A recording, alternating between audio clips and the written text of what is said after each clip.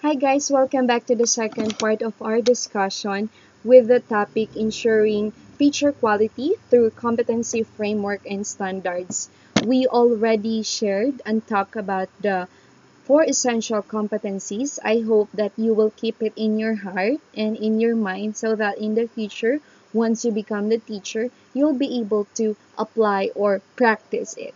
And now, let's talk about the Philippine Professional Standards for Teachers. When did it started and why do we need it as a future teachers?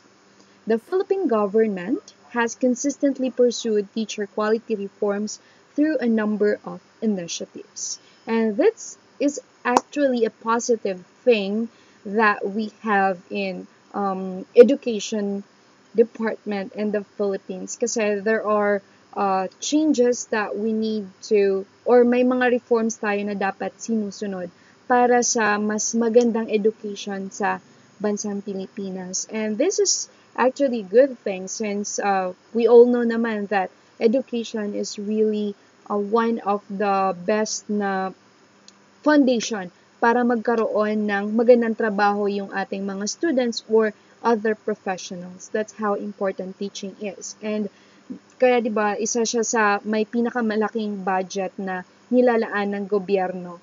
And that's why there are certain reforms to make sure that it's effective and mag, mas maging productive yung ating education sa bansang Pilipinas.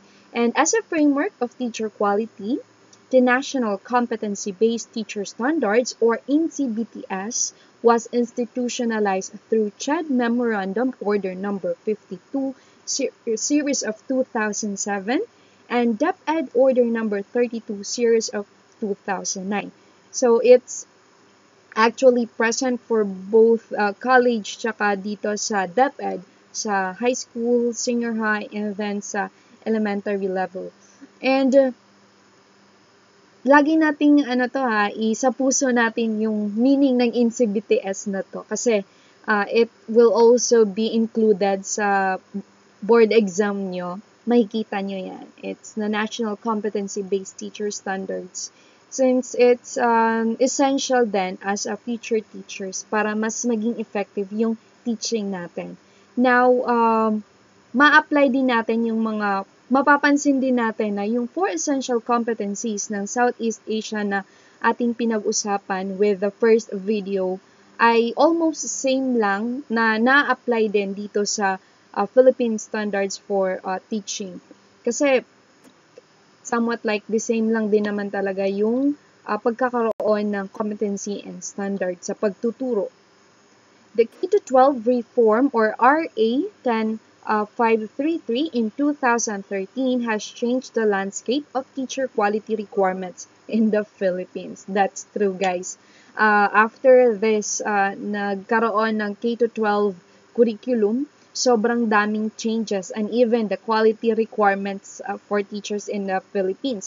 Lalo na 'di ba pag uh, sa mga senior high school teachers, hindi naman pwedeng pagturuin lang yung nasa high school na teachers na walang specific na specialization sa pagtuturo nila. So what happened is nagkaroon ng mas mas hiring, so maraming mas kinailangan teachers and that when that happened. And we all know that after, di ba nung naipasa yung K-12 na yan, marami ding teachers na nawalan ng trabaho, lalo na dun sa college uh, level.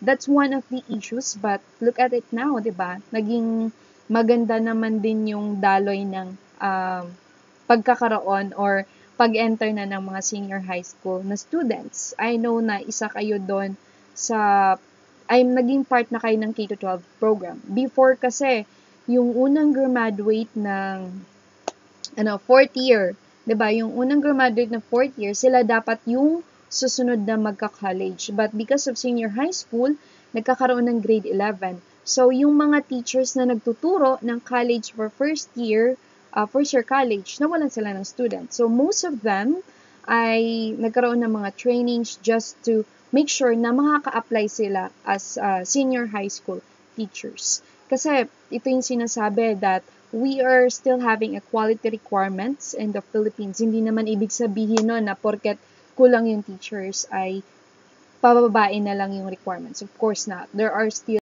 changes na nangyayari. But of course, hindi naman binibigla din yung mga teachers. Inuunti-unti rin naman yung mga requirements ng uh, DepEd na yan. Kaya, malaki din na naitulong doon sa mga teachers na nawalan ng trabaho or nawalan ng mga estudyante for the first years ng K-12 program na to, na curriculum.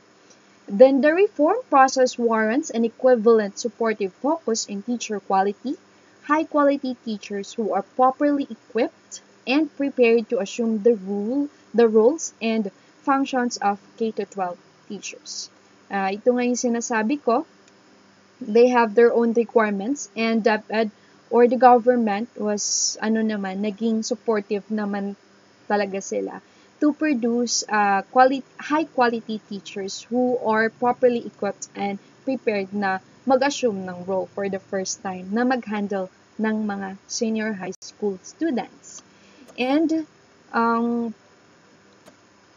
dito sa Philippine Professional Standards for Teachers, which is built on NCBTS, complements the reform initiatives on teacher quality from pre-service education to in-service training. Totoo yan guys. Hindi lang sa mga naging teacher or maging teacher that time na in-implement yung K-12. Even nowadays that you are part of uh, yung mga pre-service education or in-service training, yung nagte-training pa lang.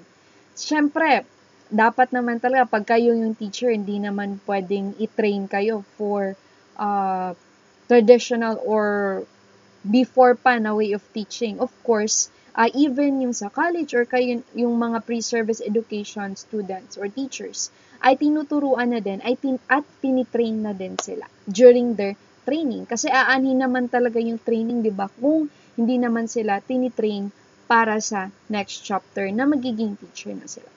So that's one of the standards. And it articulates what constitutes teacher quality in the K-12 reform through well-defined domains, strands, and indicators that provide measures of professional learning, competent practice, and effective engagement. Tandaan natin tong tatlong to. Una, professional learning. Of course, this subject pa lang na teaching profession, di ba? First year pa lang kayo. But, um, you are already learning professionally kung ano ba talaga yung isang teacher, kung ano yung mga code of ethics, or kung ano yung mga practices and characters of the teachers and even the standards and competency which are really needed to be a best or the good teacher in the future. And it articulates, tapos dito din sa competent practice, kaya pinag-aaralan natin yung mga competencies na to at standards na to, para in the end, you are competent enough and uh, it could be seen in your practices or sa mga ginagawa natin in the future. But don't be so pressured, guys. The first year pa naman kayo. You're not really um, asked na kailangan ma-master nyo lahat ng standards na yan. This is only a theory or dito muna tayo sa mga uh, theories or sa mga competencies na pag-aaral para mas maging familiar kayo. And this would be a good thing na para sa susunod na mga topics or mga discussions are you or you will be uh, provided a guide na alam, ay oo nga no, kasi pag teacher, ganito dapat yung standards, kailangan ganito, kaya kailangan natin pag-aralan itong mga bagay na to. So, mapapansin nyo na once you study or take more professional education subject, yung pang-edu, yung mga major subjects niyo. And then, we have effective engagement. Kasi, di ba, hindi lang naman ikaw as a teacher, uh, sobrang dami mong dapat na i-consider you as a teacher sa sarili mo, 'di ba dun sa four essential elements pa lang competencies, hindi lang naman sa mga students, even sa mga sa community and even oneself, 'di ba? Tinatalakay din natin 'yan. Kaya nagiging effective engagement siya. So we need to be open sa community and other uh, stakeholders uh, sa mga stakeholders na kasama yung school, even our administrators. And now, um, the Professional standards therefore, therefore become a public statement of professional accountability that can help teachers reflect on and assess their own practices as they aspire for personal growth and personal development. Since you are not yet a teachers but uh, you are still on the training or nag-aaral pa lang kayo, Uh, this would be, ito lang tandaan nyo kung bakit nyo pinag-aralan or bakit nyo kailangang isa puso tong mga lessons na to. Kasi nga, it will help you to reflect and assess your own practice as you aspire for personal growth and uh, professional development. At least ngayon, first year pa lang kayo guys, ay nagkakaroon na kayo ng professional development para uh, kung maging teacher kayo in the future. And I do believe that and I know that some of you might not yet love this profession yet, but don't you worry, time will come that, kaya nga diba, teaching is not just a profession, not just a mission, but also a vocation. Malay mo, tinatawag ka talaga sa pagtuturo, diba? So, this is a good start. So, maging ano lang tayo, kung hindi man, kung ayaw naman talaga ng teaching, kasi I know, first year, students talaga ay not, uh, may mga ano pa, nalilito pa kung ano ba talaga ang course na kukunin. But I hope that studying this subject will actually uh, inspire you to study or to continue this uh, education na course, guys. And then, uh, dito tayo sa teacher quality in the Philippines naman. See? So, ano ba yung teacher quality na to? The Philippine Professional Standards for Teachers define teacher quality in the Philippines. So, yun yung makikita natin na yun talaga yung teacher quality. Dapat merong quality yung teacher na dito sa ating bansa. And the standards describe the expectation of teachers increasing levels of knowledge, practice, and professional engagement. So, ito yung sinasabi ko kanina. At the same time, The standards allow for teachers' growing understanding, applied with increasing sophistication across a, across a broader and more complex range of teaching learning situations. Yan, applied with increasing sophistication. Lagi talagang uh, nagde-develop dapat. Kaya ngayon guys, uh, maganda rin yung pinatupad nila na although uh, minsan magastos din sa tagat sa teachers, ang before ka, uh, nagkakaroon dapat ng professional development.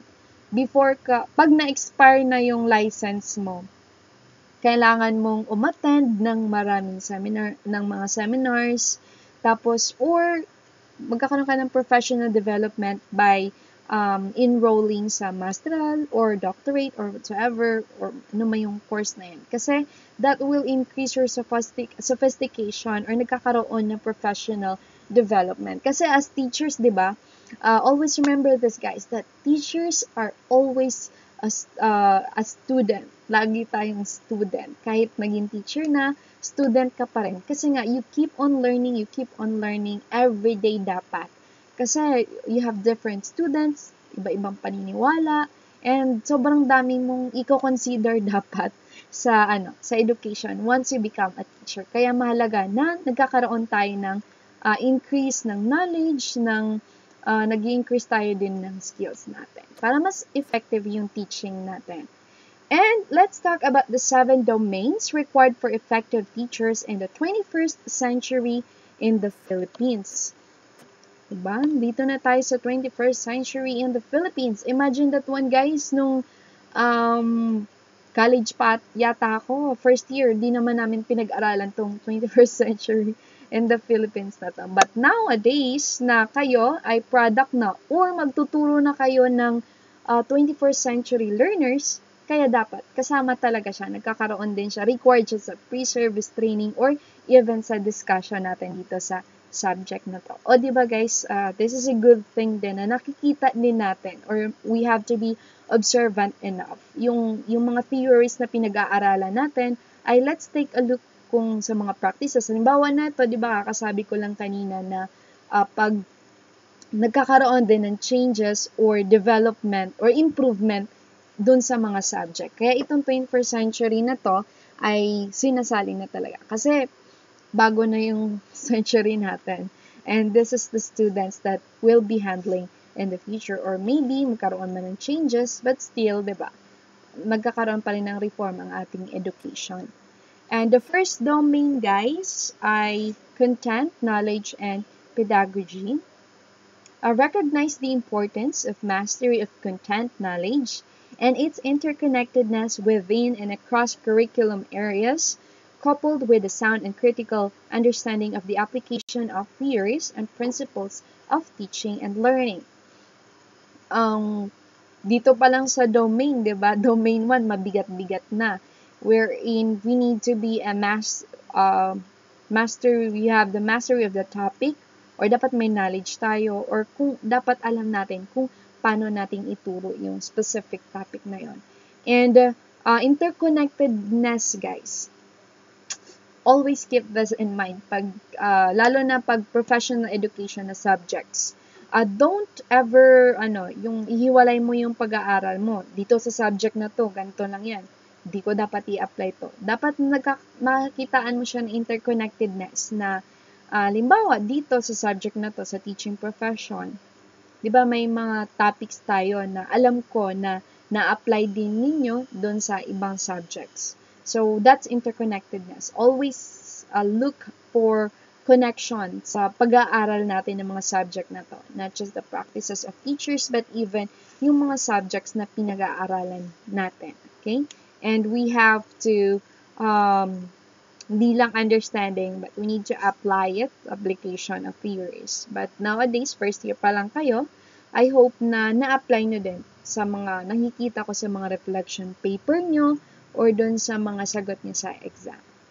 Ha, para In that way, I could still see na may natutunan kayo dun sa mga theories. And then, uh, domain 1 na strand. May pitong strand pa sa domain 1. First is content knowledge and its application within and across curriculum areas, research-based knowledge, and principles of teaching and learning.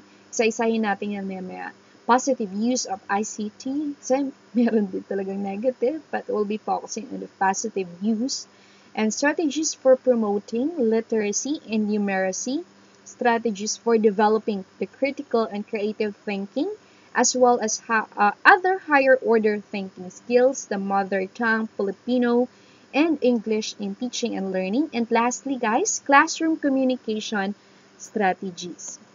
Okay, dito tayo sa uh, domain 4. Ba't domain 4 na agad? Wait lang guys na. Ayan. Doon yun sa domain 1. So, hindi na siya ibibigay. So, I'll just explain it. Sa domain 1, sa first strand, explain ko na to. The second one is research-based knowledge and principles of teaching and learning. Kaya mahalaga na tayong mga teachers ay will be familiar or alam natin paano mag-research kasi uh, it's something like uh, makikita natin that we are competitive enough by doing this research and mababalidate natin or uh, we have a valid reason why we do such strategy, methods, or even the practices that we are having with our students. Tapos, positive use of ICT. Kasi, di ba, facilitators of learning, this is a great way talaga na ituturo sa mga bata or they will be guided about the positive use of ICT, not just for playing games or other matters na hindi naman nakakatulong sa ating mga estudyante. And strategies for promoting literacy and numeracy. Kasi nga, yun yung advocacy na teachers, we need to teach students. Kaya, dapat ay we promote literacy and numeracy. And then that strategies for developing critical and creative thinking as well as higher order thinking skills. Ayan guys, yun yung meaning ng HOTS, HOTS question, higher order thinking skills. Ayan yung mga question na mapapaisip ka, yung mga why, how, I love that. So, dun talaga nakikita yung critical or nagkakaroon ng creative thinking ang ating mga estudyante. Not just a simple of multiple choice or not just merely memorizing the topics. Dapat naiisip din talaga nila. Diba? And the mother tongue, Filipino and English in teaching and learning, yan, start talaga sa mother tongue muna. Kasi yan yung uh, unang language na or ginagamit ng mga bata. And then classroom communication strategies. Pag-usapan din natin yan later on. I'll provide different types kung paano natin, paano tayo makipag-communicate sa ating mga students.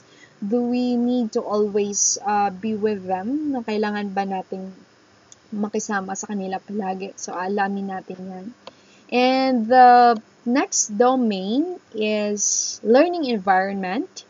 Provide learning environments that are safe, secure, fair, and supportive in order to promote learner responsibility and achievement. Imagine that one guys, dapat talaga nagkakaroon ng fair, tapos dapat safe, tapos feeling secured talaga yung ating mga estudyante for the subject. Lalo na pag magtuturo ka ng elementary or even high schools. Kasi high school na mga bata. Kasi that's the time that they need more ano talaga security security or they need to feel safe and to be supportive supported by their uh, peers or even teachers and parents. So, dapat learning environment pa lang ay nabibigyan na natin ng justice para sa mga bata to keep them on learning. And the learner safety, so yan na yan. And the second or the third domain naman, or the third domain is diversity of learners. Establish learning environments that are response, responsive to learner diversity. So, we discuss, uh, na-discuss ko na din siya sa first video, na ang ating mga students ay iba-iba or diversity of learners talaga. And even from the way they dress naman, di ba? From the way they believe or mga beliefs, traditions nila, and even sa learning styles nila, paiba-iba talaga. So, we need to be responsive and um, to be considerate enough to all our students. Kasi makikita doon na fair tayo sa lahat ng bata and uh, we are measuring them based on what they can give. Kung ano yung specific skills and talents na meron sila. And uh, third strand, learners, gender, needs, strength, interests, and experiences. Of course, you, yung experience talaga is a great teacher. In that way, um, makapag-practice yung bata or may papakita sila kung ano man yung uri ng paniniwala or beliefs kung paano man sila pinalaki ng parents nila. And makikita natin na even kung hinayaan natin yung mga batang yan, respecting their needs, interest, other student will see to it. Hindi lang, uh, kahit mga estudyante, matututo nun. Hindi man sa topic, but uh, about socializing with other people, about different people. Tapos, kailangan pala na i-respect sila, hindi natin sila i-judge. So, in that way, dun pa lang, di ba, si teacher ay may natutunan na yung bata. Nai-impart na natin yung knowledge sa kanila by letting them experience it. And then, learners' linguistic, cultural, socio-economic, and religious backgrounds. Yan. Tandaan nyo yung mga discuss ko sa teaching profession, ay sa code of ethics kung saan wag nating ipilit yung mga religious beliefs natin sa ating mga estudyante.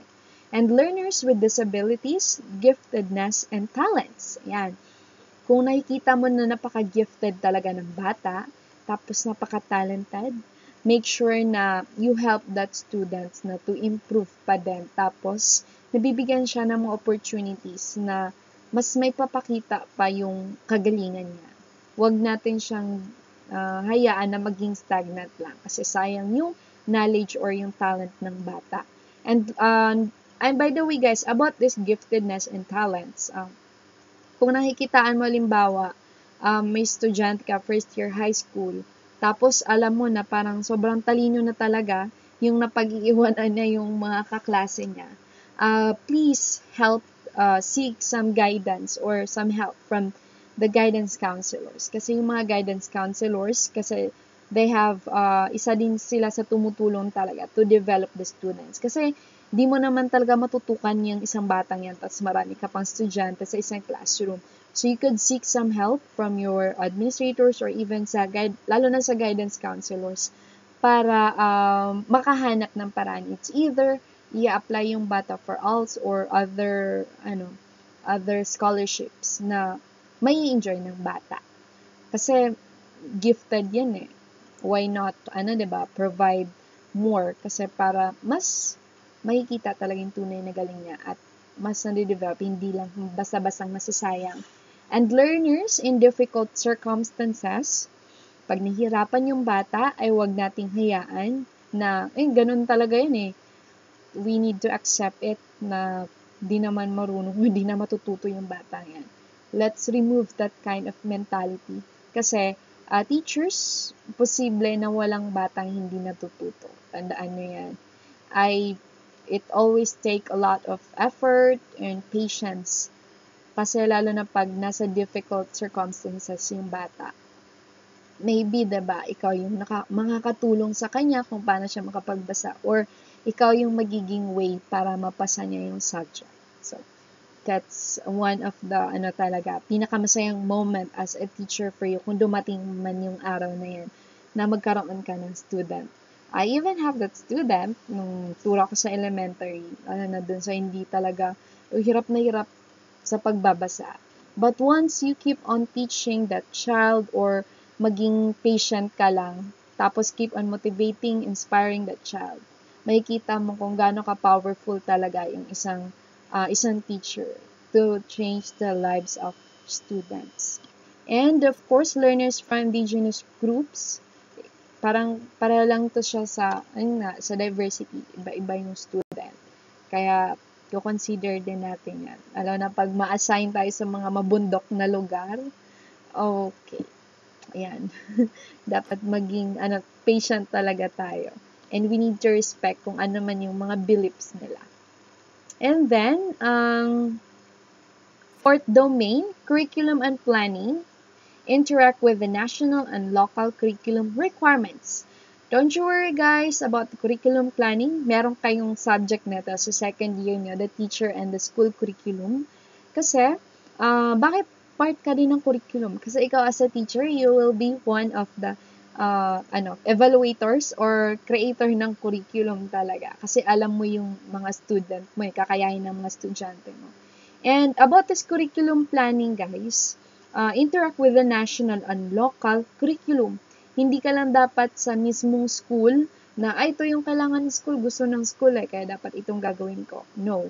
Uh, we need to interact with the national and local curriculum kasi hindi naman tayo, ano eh, hindi naman tayo nakahiwalay. We as a teachers are part of the government at tayo ay parte ng ano, pag-unlad ng bansang Pilipinas dapat. Yun yung dapat na thinking natin. Kaya sumusunod tayo kung ano man yung mga objectives tsaka curriculum na uh, pinapatakbo ng ating bansang Pilipinas. Halimbawa, kung K-12, di naman pwedeng, ano, uh, kung ako may-ari ng school, ay ako magkaroon ng senior high school 'Di ba imposible 'yon? Kaya wala kang nakikita kahit sobrang yaman pa ng school na 'yan.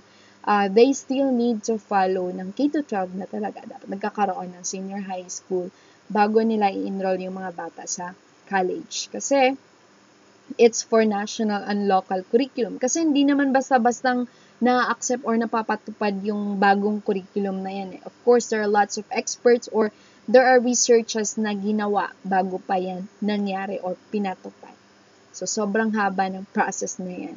And then, um, we have the the fifth, the, uh, the fourth strands ng dito sa curriculum na to, planning and management of teaching and learning process.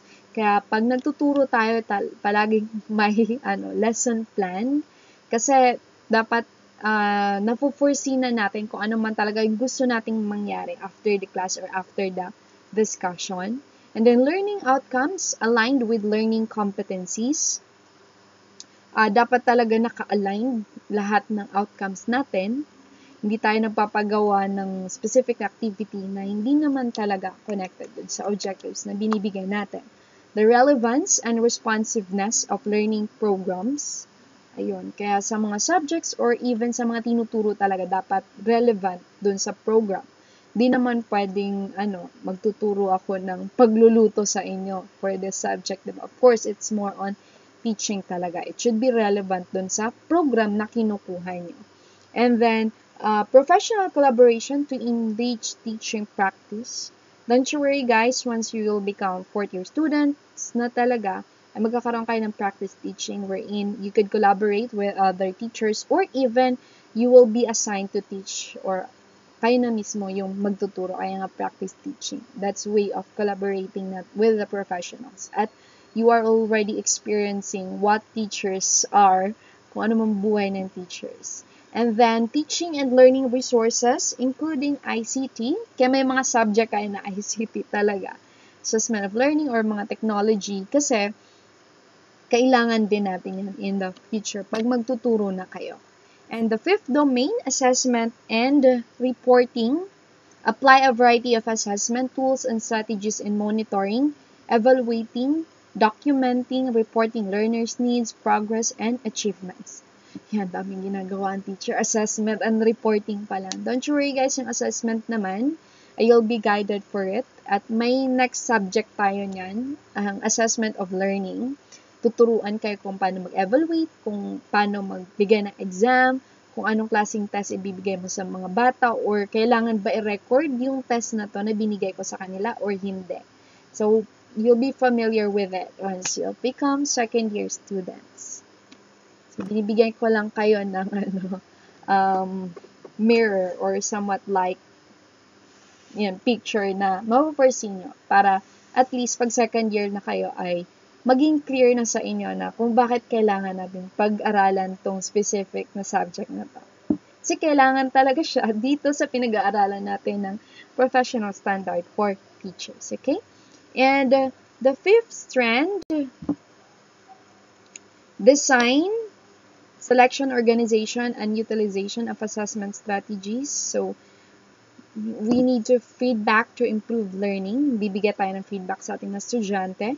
Communication of uh, learners, needs, progress, and achievement to key uh, to key stakeholders. Of course, we need to talk with the parents, the teachers, kung ano man yung achievement na nagkakaroon isang bata and use of assessment data to enhance the teaching and learning practices and programs. Kasi we always need to enhance what we are doing, be it teaching and learning practices. Ang curriculum nga sa bansa, nagkakaroon ng reforms, di ba? Ang teaching pa kaya, way of teaching pa kaya natin inside the classroom. And the sixth domain, community linkages and professional engagement. So, meron kayong subject neto, community, the school, di ba? Um, dapat talaga nagkakaroon ng linkages. And establish school community partnerships aimed at enriching the learning environment as well as the community's engagement and the educa- uh, educative process.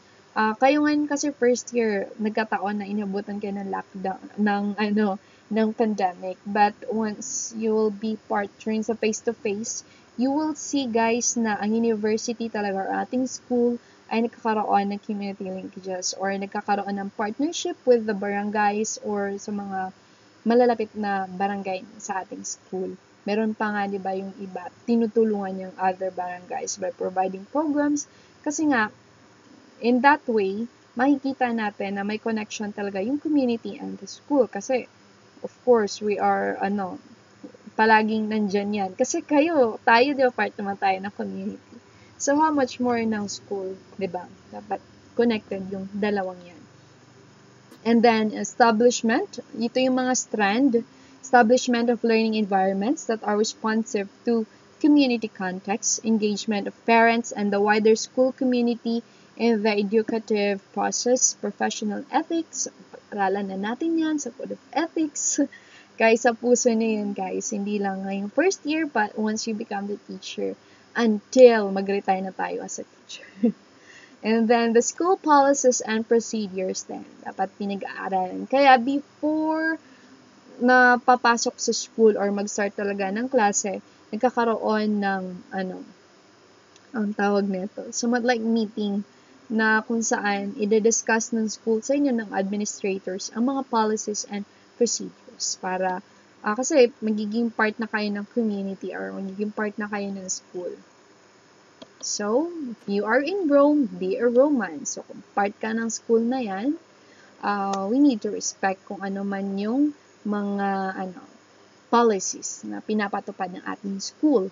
And the seventh domain, personal growth and professional development, value personal growth and professional development and exhibit high personal regard for the profession by maintaining qualities that uphold the dignity of teaching, such as caring, attitude, respect, and integrity. Yan, po, ulit na din tayo dyan sa ang um, maintaining qualities na yan. Sa dignity pa lang, ng sa caring, sa attitude, respect, and integrity. Yan. We have to live with it. I-live natin yung dignity na yun as a teacher. And the dom- uh, for the seventh, dom- seventh domain, the strands are philosophy of teaching. Ito, sama din sa pag second year kayo, third year, Mada-discuss din natin yung philosophy of teachings na yan. Uh, in this way kasi guys, makikita natin na iba-iba talaga ang teacher. Iba-iba yung pagtuturo nila o iba-iba yung paniniwala nila. Kasi depende yun sa philosophy nila of teaching. Other teachers, ito yung mga tinatawag na essential types of teachers. I will not, ano, eh, gusto ko lang makita nyo ha, yung sa philosophy ng teaching. May ibang teachers na paniniwala nila, mas mahalaga na maging sa book, mga essential, kung ano yung mga topics, dapat familiarize or memorize to ng mga batang to. There are other teachers na more on existentialist. Gusto nila na yung mga bata ay nakaka-experience or you respect kung ano yung interest nila, kung saan sila mas magaling, dun mo i-improve. Pwede yon And then, may mga philosophy din na teachers na ano, uh, perennialism, kung saan dapat yung mga ano, sobrang tagal na na book, yun lang yung pag-aaralan ng mga bata. Kasi it's already proven and validated, something like that. So, iba-iba sila ng paniniwala. But it doesn't mean that they are wrong with it. Nasa ano yan, philosophy ng teaching nila. But nowadays, ang um, more, most, isa sa mga sikat na philosophy talaga is learning by doing. Ay hinahayaan nila yung bata na matuto sa pamagitan ng paggawa or let them do the things that they have to know or they need to learn. Kasi nga, teachers for 21st century learners are only facilitators of learning. Hindi na tayo yung dispenser or source ng lahat ng knowledge na dapat nagkakaroon yung mga bat. And dignity of teaching as a profession. Yan na naman tayo sa dignity as a teaching profession. Uh, professional links with colleagues. So, dapat marunong tayo makisama professional reflection and learning to improve practice, and lastly, professional development goals. So, before, naalala ko dati, yung, ay, may sinasagutan din kasi portfolio na uh, during your practice teaching or may mga field study din kayo. Uh, isa dun sa mga tanong hindi ko makakalimutan is, after I graduate, ay parang nagbibigay ng plano doon, yung professional goals ko. I just wanted to share it with you. Yung after ko, nung fourth year ako, gusto ko, ano, pagka-graduate ko to pass the board exam. Tapos after ko makapasa ng board exam, I will um, take up, yung, kukuha ko ng units for masteral. Then after na magiging principal na ako. Tapos, I would really love to remember that feedback from my advisor na sabi niya, kayang-kaya ko daw yung abutin yung pangarap na yung goal na yun for sure. But of course, time change. Um, ayun, no, natapos ko naman yung masteral ko, but hindi sa pagiging principal. Na-realize ko mahirap pala maging principal. Sobrang daming ginagawa. So, I, but of course, I would always still love to, um, gusto ko pa rin para talaga na mag-isang teacher na lang na we're in. I will be having a communication with my students or ako yung mismo nagtuturo. But for you in the future naman siguro makikita nyo din kung para saan kayo at kung saan talaga kayo masaya. But at least, you are having that goal. Kaya kayo ngayon na first year pa lang, dapat ginugol, meron na kayong goal na dapat gagraduate ka ng fourth year. Pagka-graduate mo ay i-aim mo na agad na makapasa ka na ng board exam. Okay? And now, uh, gang doon lang yung sa domain strengths na to, guys. So, the career stages. Ano yung mga career stages na to? Okay, hiwalay ko na lang siya. Ikakat ko na lang yung video. So, continue watching this one, guys, para uh, hiwa-hiwalay natin yung topic. Thank you!